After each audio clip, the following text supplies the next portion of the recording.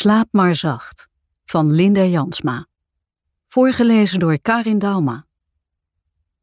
Als je wakker wordt, begint je nachtmerrie. We have two lives, and the second begins when we realize we only have one. Confucius. Dit was niet de bedoeling geweest. Jij had nooit het onderwerp mogen worden van deze strijd. Ik had je daarvoor zo graag willen behoeden, maar ik faalde.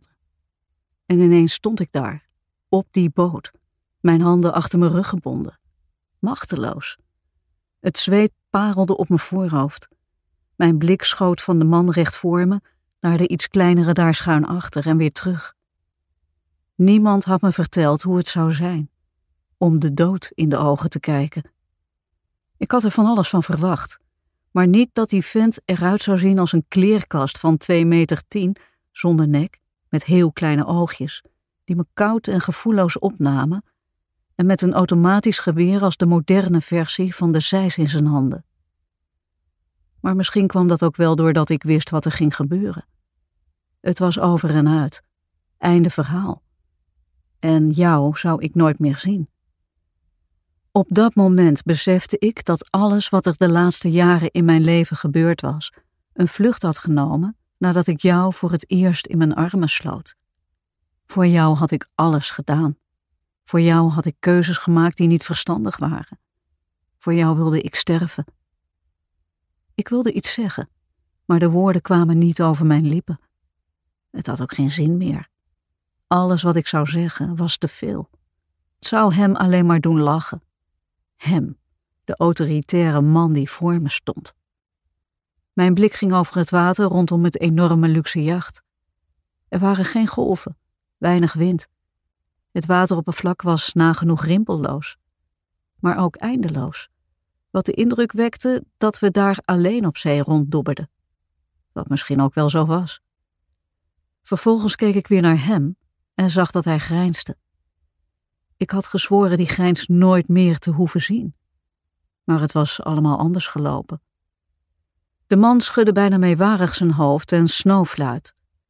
Het leek alsof hij nog wat wilde zeggen, maar in plaats daarvan gebaarde hij naar de kleerkast, draaide zich om en liep naar de openstaande deur van de kajuit. Fuck! De kleerkast richtte zijn wapen op mij en nam me met zijn kleine kraaloogjes geamuseerd op. Hij ging het doen. Natuurlijk ging hij het doen. Schieten. Die gorilla deed alles wat hem werd opgedragen. Zeggen dat ik misschien een oplossing had, zou geen effect meer hebben. Of wel, natuurlijk. Luister, zei ik gehaast. Ik begrijp het. Laten we een deal sluiten. Misschien kunnen we. Het geweersalvo galmde over het water en maakte een einde aan wat ik zeggen wilde. Het maakte een einde aan alles. Twintig jaar later. Maandag, laatste dagdienst. Karischena keek omhoog naar de letters boven de ingang van het ziekenhuis. Wie had ooit gedacht dat haar opleiding nog eens van pas zou komen? Haar moeder had erop gestaan dat ze verpleegkunde ging studeren en ze had het gewoon gedaan. Iets anders had toch geen zin meer. Niet sinds. Ze slikte en vermande zich. Niet sentimenteel worden. Om hem was ze hier. Voor hem ging ze doen wat ze van plan was. Ze ademde diep in en stapte door de schuifdeuren. De warmte in de verlichte ziekenhuishal viel als een deken over haar heen. Het contrast was groot met de temperatuur buiten, die dicht tegen het vriespunt lag.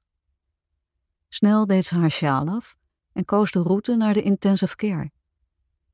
Voor ze van huis vertrok, had ze op internet al het een en ander nagezocht over de afdeling. Het ziekenhuis kende er twee: ICB en ICC. Zij moest op B zijn. Ze drukte op de knop van de lift en wachtte. Ze moest naar de zevende verdieping. In de lift knoopte ze haar jas los.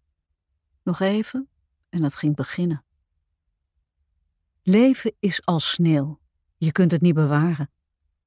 Maud van Oort dacht aan het liedje van Herman van Veen toen ze de kamer van Tom binnenliep. Morgen lag hij hier zeven weken. Zeven weken waarin geen enkel contact met hem kon worden gemaakt. Ze dacht terug aan de avond dat hij hier werd binnengebracht. Hij zag eruit alsof hij de ochtend niet zou halen. Veel gebroken botten, gescheurde mild, klaplong, verbrijzelde benen, verbrijzeld borstbeen, schedelfractuur. Ze hadden tijdens een urenlange operatie niet eens alles kunnen herstellen. Daar waren nog enkele vervolgoperaties voor nodig geweest. Ondertussen lag hij al die tijd aan de beademing en vanwege nierfunctiestoornissen aan de dialyse. Het hersenletsel dat hij had opgelopen was ernstig, waardoor hij nog steeds in een coma verkeerde. Het ongeluk dat hem voor dood langs de kant van de weg had doen belanden, had niemand gezien. De dader was doorgereden. Tom werd gevonden door een stel studenten die half beschonken naar huis waren gefietst. Gelukkig hadden ze 112 gebeld. Haar blik ging geroutineerd over de machines rondom het bed. Het storm buiten, zei ze hardop, terwijl ze de informatie op de apparatuur checkte. Bloeddruk, hart- en ademhalingsfrequentie, saturatie, lichaamstemperatuur. Wie weet wordt dit wel de eerste najaarstorm van dit jaar. Ze draaide zich naar Tom en controleerde de tracheostoma, de beademingsbuis. Alles was in orde. Ze schikte de kussens in zijn rug en haar ogen vonden die van hem nietsziend, starend. Sommige mensen, vooral naasten van coma-patiënten, vonden het akelig om te zien.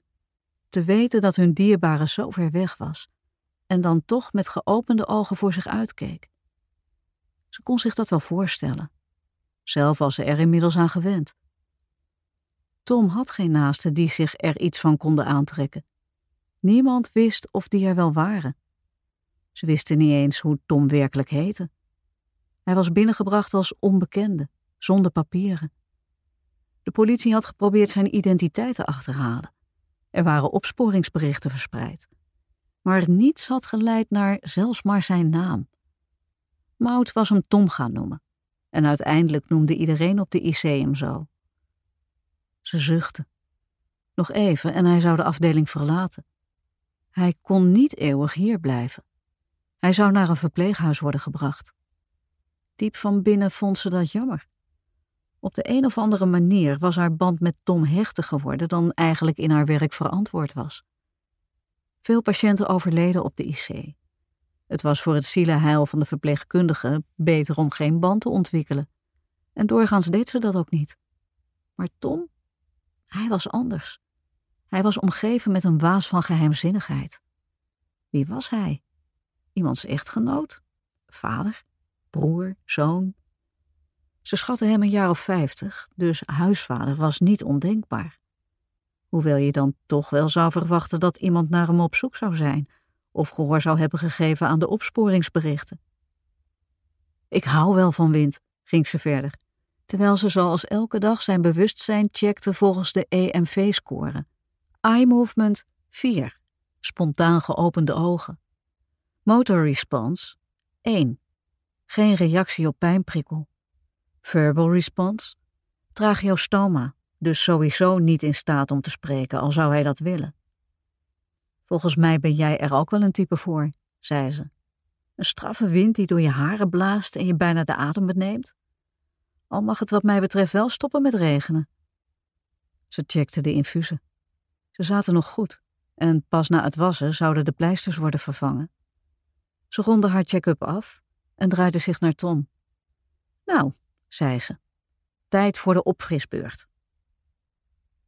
Richard Valentijn kon niet tegen onafgeronde zaken. Vanaf zijn eerste dag als agent had hij ernaar gestreefd alles wat er tijdens zijn werk op zijn pad kwam, tot een goed einde te brengen. Dat dat een utopie was, had hij vrij vlot ondervonden. Nog in zijn eerste jaar kreeg hij te maken met een dode vrouw, van wie de identiteit nooit achterhaald werd. En ook die van haar moordenaar niet. Het was niet bij die ene keer gebleven. In de jaren daarna had hij aan enkele zaken meegewerkt die als cold case in de archieven eindigden. En nu was hij rechercheur en zat hij verdomd nog aan toe weer midden in een zaak die geen oplossing leek te hebben. Richard staarde naar de foto op zijn beeldscherm. Een onbekende man, gevonden langs de kant van de weg, bewusteloos, zwaar gewond, zonder enige bezittingen, op een gouden ketting na. Geloof, hoop en liefde.